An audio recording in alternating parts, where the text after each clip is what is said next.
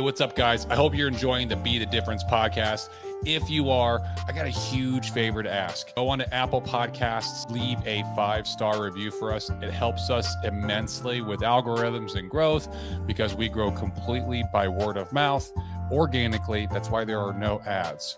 Also, feel free to share this content with somebody you think might get value out of it. Last, if you don't know, I also do coaching to help people become the best version of themselves starting with physical fitness, going all the way through mindset, sales, and leadership.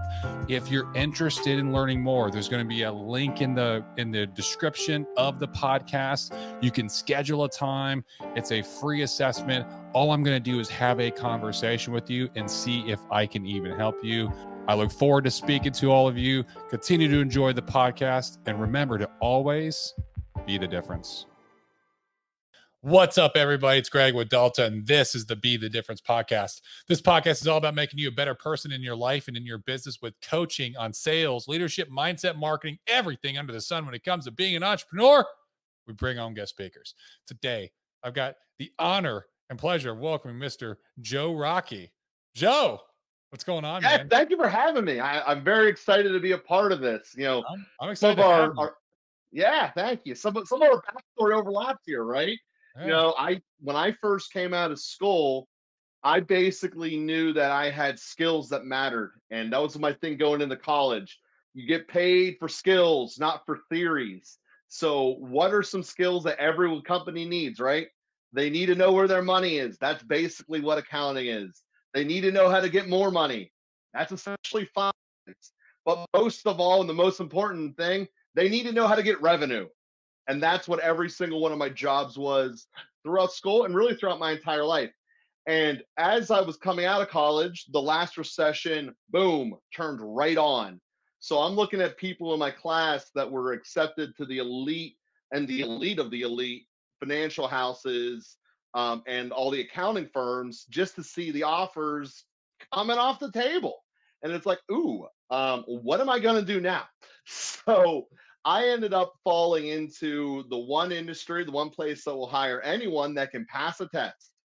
I became a financial advisor, everybody, right in the heart of a recession. It was awesome. That being said, I was successful at it. The first year I was rookie of the year, second year I was underclassman of the year, and the third year I left. Um, and ultimately, the reason I left was because I became uncomfortable for two main reasons of where I was at. The first was I created and what I always wanted was the ability to get paid when I'm older for work that I did when I was younger. The insurance world calls that residuals, but that's the core concept. And the place I was at, and I'm really upset it took me three years to learn this, was paying a residual rate of 0.1%. In English, that means I'd have to work for 1,000 years to make up one year salary. And that was not the goal I was trying to strive for. The other thing that didn't set well with me at all was as they were coming out of the recession, the products they were selling were less good. There's just no other way to say that. And I really wanted control over my product. I didn't like the fact that they cared more about protecting their own self than helping the client. And that didn't sit well with me. I started my first business with the sole aim of let's make an awesome product that I didn't know how to make. And as a result, that first one, you know, it's successful. I mean, it, the business is successful, but that first house, which what I did, I, I going in that mantra, I wanted to become residual income. And at the time, it wasn't like now where we constantly sign up for subscription based products and we don't think anything about it. Netflix, Hulu, our subscription site here, we don't think about it. It's it's normal. Mm-hmm. 2011, nope you only paid subscription costs for utilities, taxes, and rent. That was it. And look how far the world has come in just 11 years. But I had to become a landlord. But every single bank on the planet hated landlords. So I had to do this flipping thing. And I can't even tell you all the ways I did this wrong. Like, dude.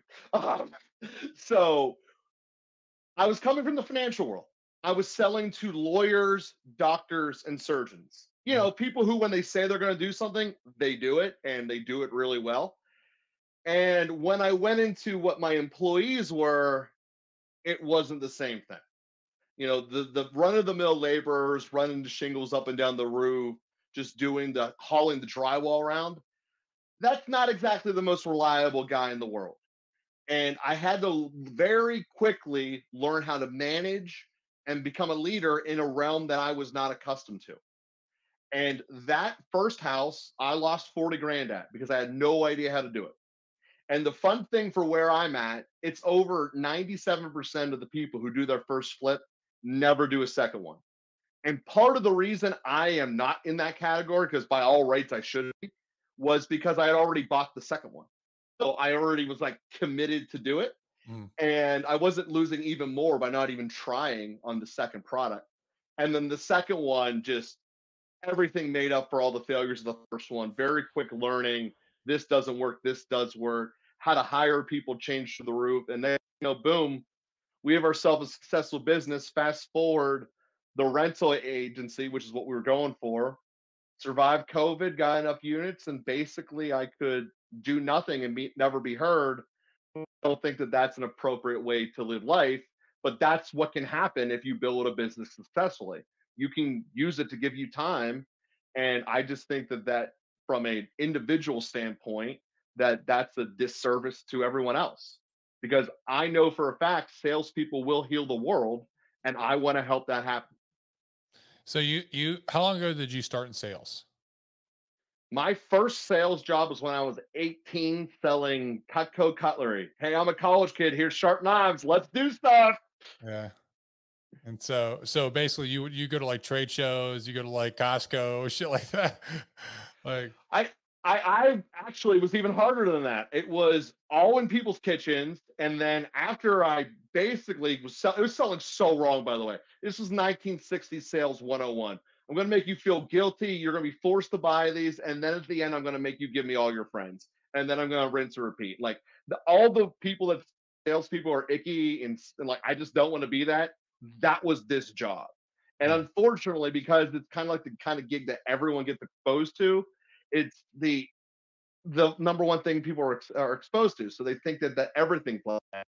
But successful salespeople know we don't force people into bad situations. We invite them into good situations, and that's why I know salespeople will heal the world. Yeah, and and what uh, so. What were some of the key things that you took away or learned, or maybe bad habits you're like, I'm not going to do that anymore from that first sales position? Well, certainly the high pressure stuff. The the, yeah. the the not valuing other people essentially and then that was articulated in a lot of different ways time essentially respect um, you know you, part of the gimmick was you would tell people it was only a 15 minute show or presentation when you knew it an hour and a half yeah so that's a starting point of a lie and then the whole thing was just built to create more and more pressure sure there were some ooh and ah moments at one point i had these scissors that cut up a penny um, you know, you cut through any piece of fruit on the planet, but in reality, it was the entire thing was almost designed like boiler room. And I knew it was wrong. I knew it wasn't going to work. But again, I was good at it. And I fell in love with the commission lifestyle. So I essentially taught myself how to do the presentation better in a way that was more honest that helped me sleep at night. And it was all because I like knowing the fact that I'm making more than everyone else around me. And it's strictly based upon what am I doing? It's not like, oh, someone else needs to like me so I get promoted. And that was always my, when I was, you know, 18, early 20s, that was always my biggest fear. No one's ever going to like me. I'm never going to get promoted because I say things people don't want to hear and I'm going to become a pariah. And I know people who were like me that that happened to. Um, they were older than me, but I've seen that. I was like, I'm not going for that. I need something where I can control my own destiny.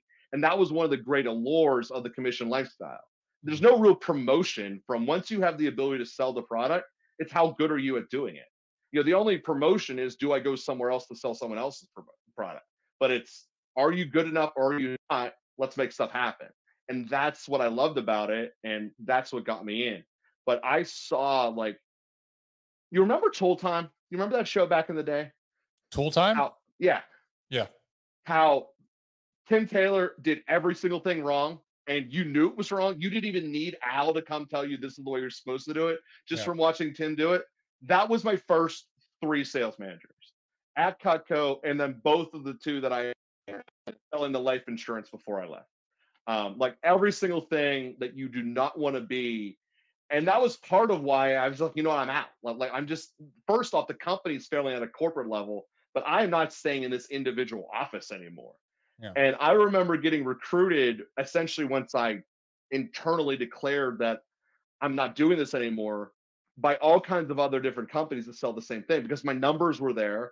Obviously, I have the legal ability to do it, which at the time people weren't able to pass the Series 7, which is like, it's a pest, yeah, but it's not like it's the end of the world, guys. Like, come on. Um, and also take the seven instead of the six. You get so much more power with it. Um, but any rate, no one could do it. So it was like I was the the the hot girl at the party, and everyone wanted me. And I was like, I don't want to be at this party.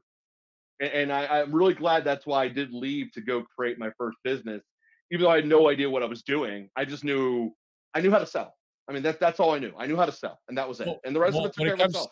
When it comes to building a business or even owning a business, there's there's two um two two traits, two skills you got to work on. That's sales and leadership. Boom. That's mm-hmm. it. Like, exactly. Like you, yeah. if you work on those two, you're going to be successful. Uh, and both of those center around influence, mm-hmm. the ability to influence people. Can you influence people that you lead to do the job and do it well? Right. To sell the idea of what you're of what you're creating, mm-hmm. or or can you influence people to buy your product or your service? you know can you can you sell them on the idea of what that product's going to do for them in their life right it all has to do with influence yeah exactly and some people will hear that conversation and say you guys are just like used car salesmen you're forcing people to do something they don't that's manipulation do. yeah that's not it at all that's i mean the, what it is is it's it's truly relating to your client yeah. and saying hey what's really going on in your life right now is my solution going to work for you or not? Yeah. And if it is, we're we're making it happen. If we're not, you're not my client. That's cool. I'm just gonna go talk to someone else. And that is notion that I, I'm really trying to like let people know and overcome. You know, true sales is having a relationship with someone else. So is being a leader and a manager of a company. It's mm-hmm. having a relationship with the other side and saying, are we able to maximize this? Am I able to create a, a culture in a quick span here that says, hey, we're going to talk about some things that you might not even know that bother you, but we're going to bring them out in this conversation. And as a result, even if I'm not the person you end up buying from, you're going to be better off. And you go through that process successfully. Oh, does life get better? because you you become the trusted asset. Mm-hmm. If you sit down and say, "Hey, I'm not trying to say what you're doing is wrong or anything like that. I just want to know what happens to you if this doesn't get solved."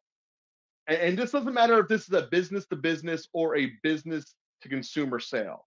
You're talking to the purchasing agent and say, "Hey, you're a steel company. You need this iron ore. I get that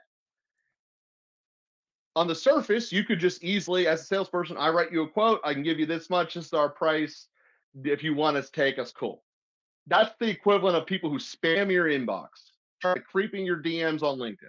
Like, who wants that? You throw enough bullets, eventually you'll hit something, but it's not really good or successful in the long run. But rather, if I can talk to that purchasing agent and find out you know your company wants you to be able to provide consistent volume so that way your your supply line doesn't get messed up. Cool. What happens if it does? What does that mean to you? And now you're going to get the personal answer from him and find out whether or not he's a client that you want. You know if my supply line gets messed up not only do i pay less and i get yelled at like crazy but we end up having to cut off the workforce for 30% that week. Like, I, I can't have that on my. Like, okay, well, we need to make sure we're able to provide, you know, the quantity for you. Quant- is quantity the most important thing, or is there more going to it? And then, you know, each client's gonna have different answers. Some of them just want to have less, but it needs to be the best in the world. Some people just need to have a lot so they can just keep working. But you're going to find that out, and then also you need to have the knowledge of what can your company actually deliver. Um, because there's a lot of salespeople out there that have a disconnect from being able to have the conversation, exchange the promises, and then not have their company deliver. Uh, there's really one of two reasons that happens. Either A, your salesperson blatantly lied, or your processing department didn't step up like they're supposed to. Either way, it's not acceptable. It's one of the things I hated about selling life insurance, by the way, was I got this commission check, I got you to buy it, and then some person who doesn't care or know says you're not healthy enough to get this price. Yeah. Sale just died for absolutely no reason. Because I'm looking at the person, they look fine, but for whatever reason, we haven't had enough people in the C group of health category. Your client is the one randomly chosen.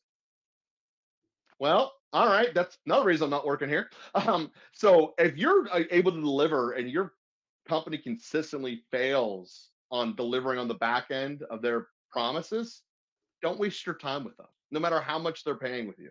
Someone else will pay you enough for your system. You know, at the end of the day, we're all on commission, at least all the successful ones are. So go do something with a company that's not going to give you headaches and grind you into the ground because there's nothing more infuriating than losing a sale because of something that's your company's fault. And, you know, this might not be the happiest news for someone to hear, especially if you're the business owner of that company. But the reality is, is step up or your best kind, your best salespeople are going to step out, and they should. Oh, you're absolutely right. Yeah.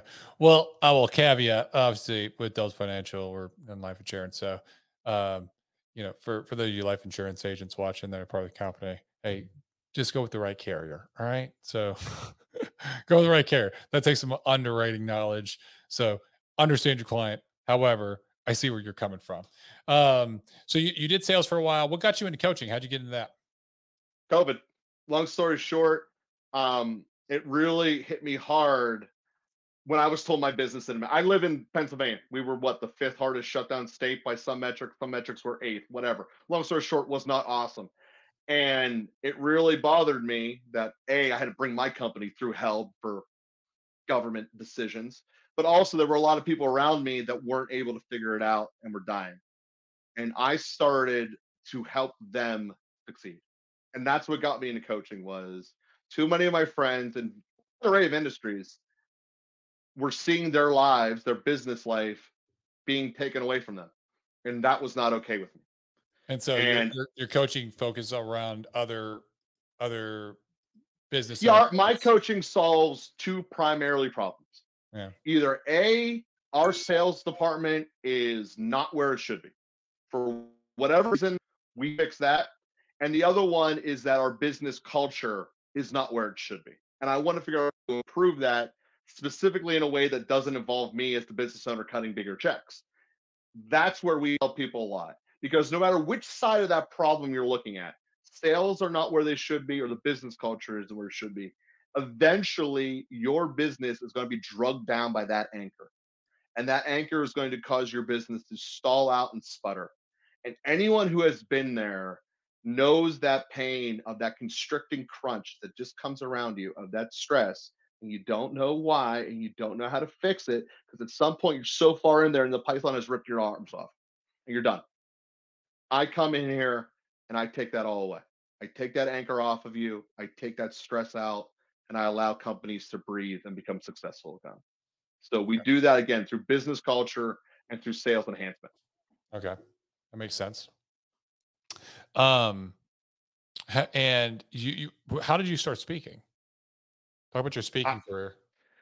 So when I was at college, I was an all-American debater, and whenever I was doing all of the present, as you mentioned before, one of the things at Cutco, I'd be at trade shows.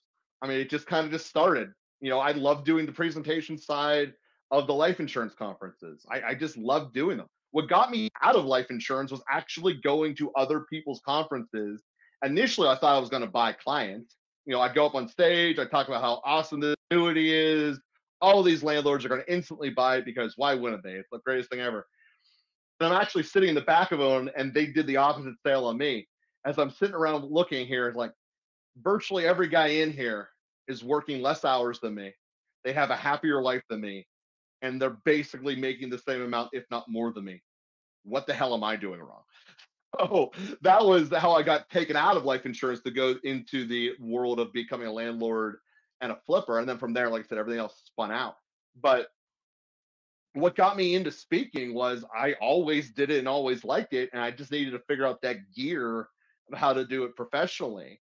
And it was shortly after I realized that, hey, COVID is here in Pittsburgh, Pennsylvania, but these problems exist in other states and pretty much the populated ones. Why don't I figure out how I can help people in a way that I can? And at the time, we started digitally. I mean, there was no other option. I mean, I couldn't get on a plane. So we just started talking to people through the internet and we did one on one sessions. And then one on one sessions came to talk to my whole sales department, which then came to talk to more and more and more. And the mm-hmm. next thing you know, I'm logged in and 15 other people are there to see me at a webcam with this some background behind. So that's what happened. And I it, it kind of just grew organically. I already liked presenting and talking. I already knew what I was talking about. I mean, it's not like I just look at it and goes, "This is how you sell." 15 companies to show I know how to do this. So, you know, it, it was it was organic. You know, without better way, I just kept reaching and reaching and not knowing what I was going to grab, but like a little kid trying to grab things off the kitchen table. Eventually, I found something I liked. Okay, I like it. I like it. What are some challenges that you've had? I mean, some like super like, uh, uh, you know, career ending potentially. Besides the flip, you know, you you you lost forty k. What's some mm-hmm. real like? Well, I was at 40k when my net worth was 30k. I mean, that was a big deal. Yeah. so, I mean, that, that that was big. But I mean, I, I think I'm going to be with the same with the majority of people out there. I did not deal well at all. I mean, at all when they told me I was unessential and that I didn't matter. And like that was a a, a major thing. And, and in all honesty, I don't if I didn't have the ability to help other people, I, don't know if I still would have these businesses. I, there's a strong chance I would just sold them and run away, gone somewhere warm, and be on a beach. But um, it was really through helping my clients, helping helping the people around me that got me out of this. But COVID and being told that I didn't matter, for lack of a better words, and that my employees and my clients don't matter by extension, that uh that was a lot. Um, I've all I've owned a kegerator for a long time. Uh, it's one of the great ways I save money. You know, you buy a keg, you get seven and a half cases of beer for the price of four. It's pretty quick math how much you save. Um, during COVID, I probably went through them about six times faster than than before, and that was the beginning part of COVID. I mean, once I got into the coaching, you know, life returned back to normal, at least as normal as it could. But I mean, that was that was that was the challenge, man. I mean, I, I did not deal with being told that I didn't matter well at all because all of the evidence of my life, anytime I had a product, I fixed it. And I fixed it by building a relationship with someone else. Mm. And now I was told that I wasn't allowed to see anyone. And on top of it, I was the problem because that was how they sold it in the beginning. Yeah. Yeah, man. That that was what March Madness of 19, almost exactly three years ago or whatever it was, a couple of weeks off It was it three, maybe four years ago now. But yeah. Um. So so now that you you you got all this sales experience, you create your own mm-hmm. company, you realize that you there's more things you want to do. You get into coaching, you get into public speaking. You have all this. What's your plans? How are you looking to scale? How do you want to change your business looking into the future? Well, I love first of all, I love where it's at. Um, yeah. So I I, I want to grow it in the sense that I, that I get more exposure. And the, one of the ways I did it, which I will be debuting, actually will be out by the time that this starts, is I've never done a European sale before. And I got recruited by a European satellite country to now have create a flagship company for them, where I'm going to be their prime time slot, 7 p.m. at each respective time zone on Thursday night having conversations similar to this, teaching people how to become better at life and at sales. Those are, I mean, exactly what you said, the essence, leadership and sales. That's what I am and what I bring to the table. So I'm long story short, I'm going to kind of do the same thing that I've done my whole life. I'm going to just dive in, learn how to swim, because I've never not. Yeah. And that's probably a really scary thing. But once you have the skills of knowing how to relate to someone and how to sell, it doesn't matter what water you're in. This game, this life is about building relationships with others. That's the one thing as a species all of us are built to do.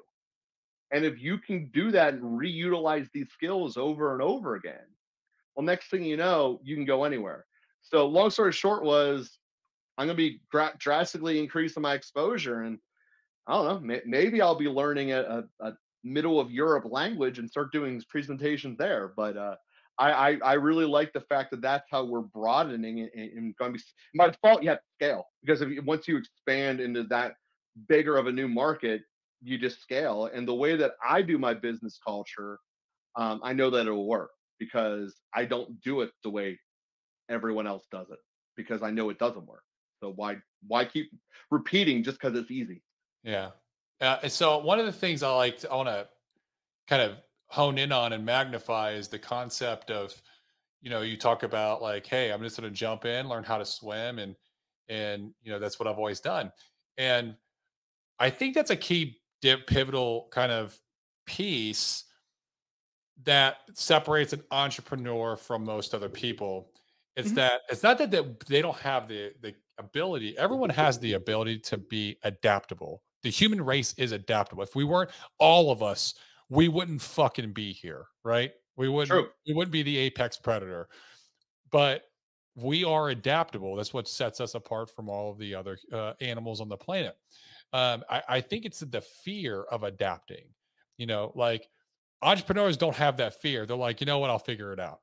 Like, F it. I'm going to jump in. I'm going to learn along the way. I'm going to jump off the cliff. I'm going to build the parachute on the way down. All these things, it's just because we have something within us or there's something that's happened to us or something where it's just like, we know we'll adapt because mm-hmm. it's human nature. It's within us. And everyone has that ability.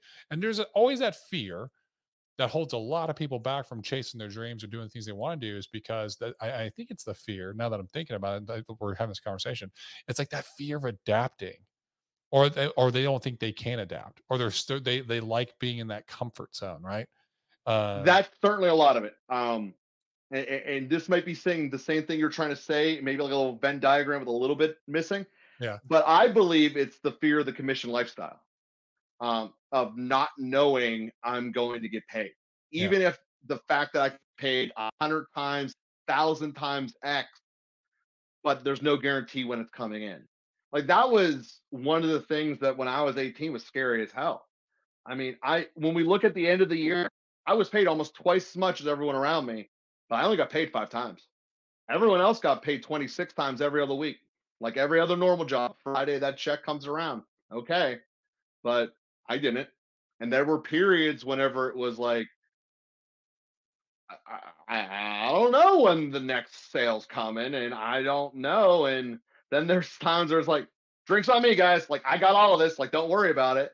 And and learning that roller coaster of finances, especially when you're that young, was was incredibly vital. But that's part of this. I mean, I think that is the fear of what happens if it, it does it comes back to the same question what happens if i fail yeah. and i just don't believe that's an option because if you force yourself to dive into a problem hard enough long enough and from enough different angles you'll find a solution or you'll find out that maybe the best thing for me to do is just not deal with this problem because i found 13 other opportunities that are better off for me because that's the other thing that happens you know uh, there's some businesses that just shouldn't exist.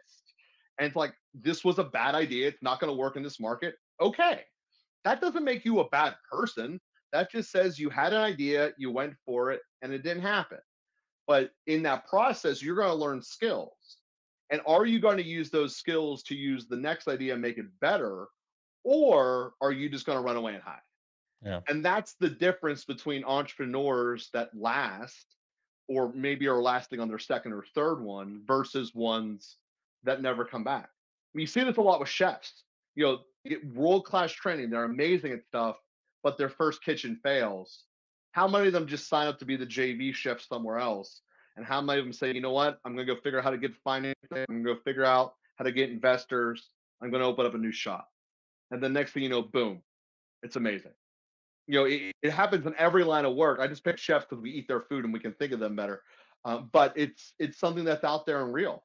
And it's do you want to step up or do you want to run away and hide? And there's no shame in it. I mean, it's scary not knowing if you're ever going to get paid again. You start having these self-doubt questions. Am I good enough? Is it me? Like what what is the problem?